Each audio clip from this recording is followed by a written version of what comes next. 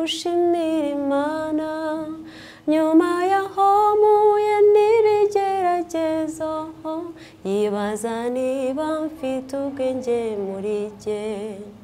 Nyamara nanjye byarangoye kwiyumvisha ko nkwiriye gushima. Ariko nyuma nza kwitegereza nsanga hariho byinshi byatuma nshima imana. Biriho byinshi biracyariho ibyatuma tuza imbere y'imana dushima. Nubwo twaba tunyura mu bigeragezo hari byinshi byatuma dushima.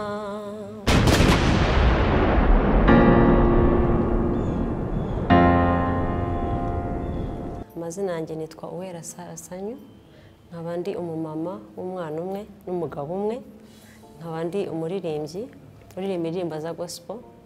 Nkaba ubundi ndirimba muri ambassadors of Christ Choir. Ubuhanzi bwanjye bushingiye ku kuririmba indirimbo z'imana. Ni ibintu natangiye ndi mutoya ni impano ntekereza ni impano imana itanga ntabwo ari uko nagiye kubyiga.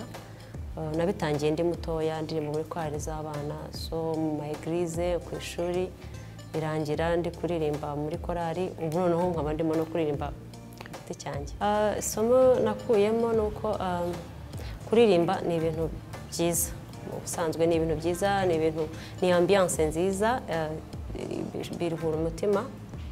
Kuririmba ni okipasiyo ushobora kukurinda ibintu bitari byiza ingeso zitari nziza wenda uririmba gospel. So ni inspiration ngewe ni aho ngaho nakuye inspiration. Kuba rero naragiye mu bintu byo kuririmba numva ari ibintu bimpaye amahoro. Mazemo imyaka myinshi irenga icumi. Natangiye muri demisisi ni inzozi nari mfite ariko ntari nzi igihe cy'imana izemera ko biba. Impamvu ibinteye cyane ni uko hari abantu abakunzi abantu bankunda bamisabye cyane benshi. Ariko byaturutse ku ndirimbo naririmbye mu bukwe bwanjye nari nakoze ubukwe ndirimba indirimbo abantu barayikunda barambwira wayi noti utaduha mesaje yawe ku giti cyawe wenda atari muri korari so nabikoze kugira ngo ntange ubutumwa muri sosiyete bitanyuze muri korari ushobora kuririmba nanjye njyenyine sintekereza ko hazabaho kugongana kubera ko korari yo ntabwo nayivamo.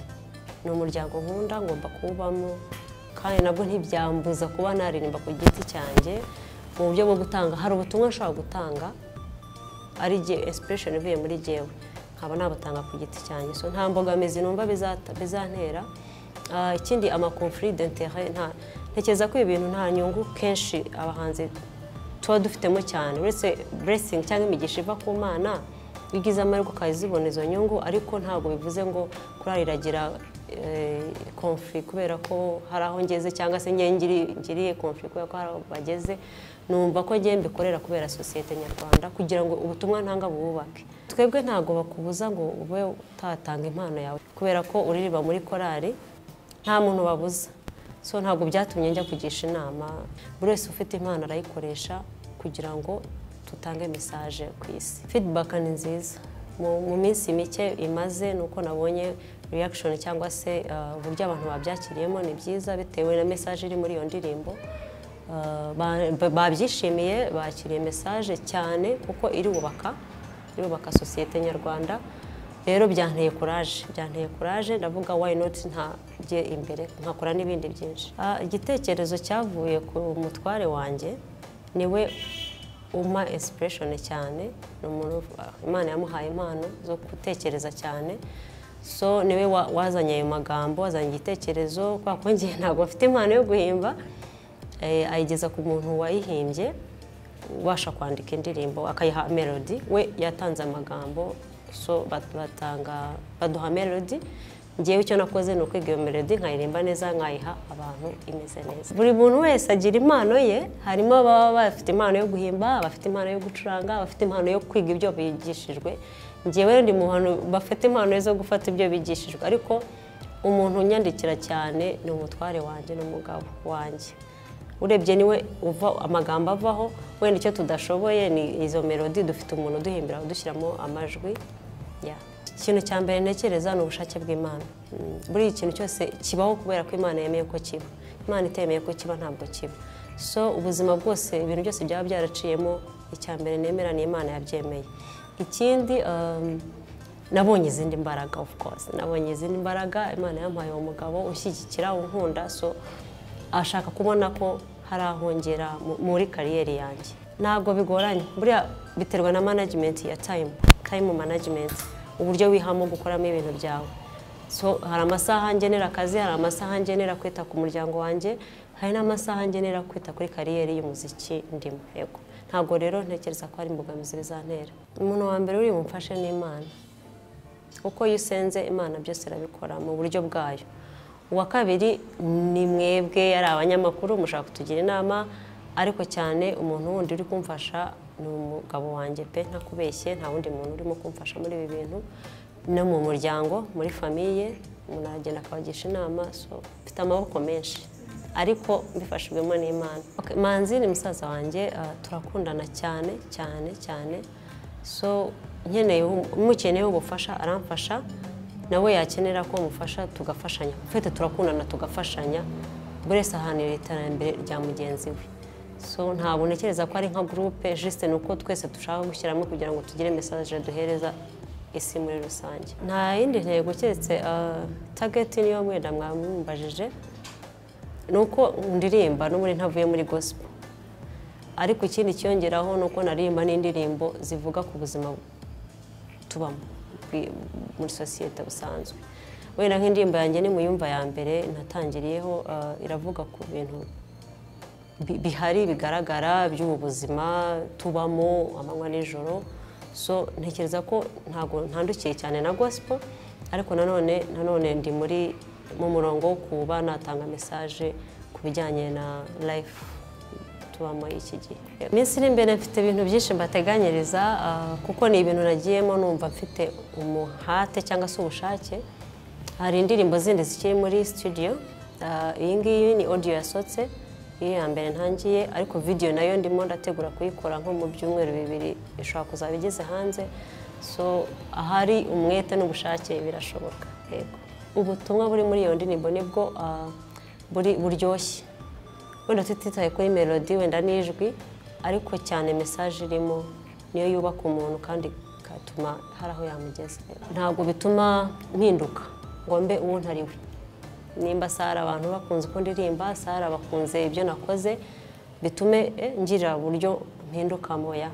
Nzaguma ndi sara wa wundi uzi muri ambasadazi ndaguma ndi sara uzi muri hano hanze uko mbona niko ndi bugume numva ntacyo bizampinduraho gusa icyo bizamfasha ahubwo bizamfasha kugira kuraje mu byo ngiye gukora.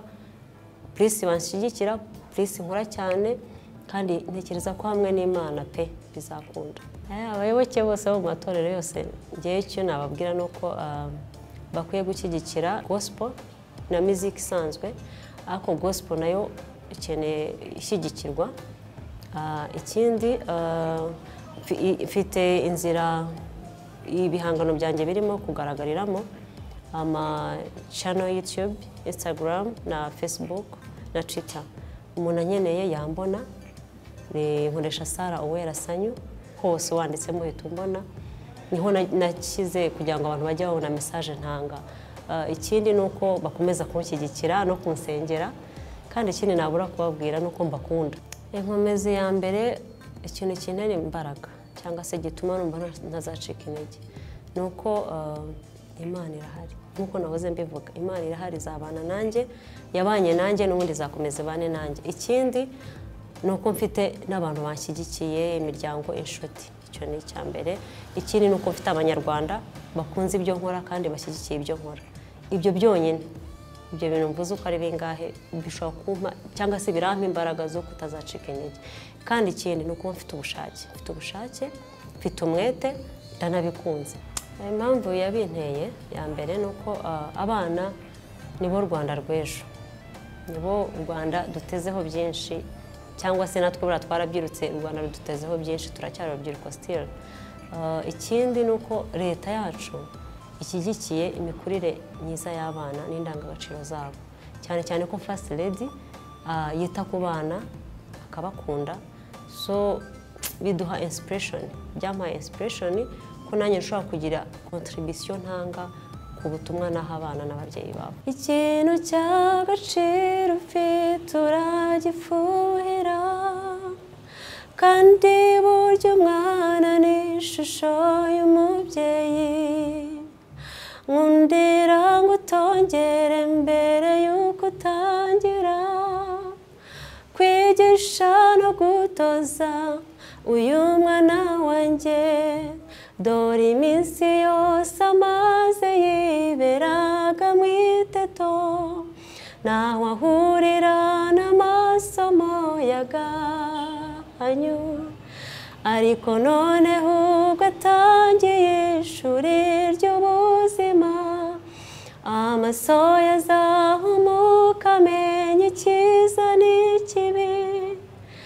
Wasi wenda kwinjinzu zamwigishe witonze gutandukanya ibiryoshye ndetse n'ibirura. Mwigishe kwigirira icyizere.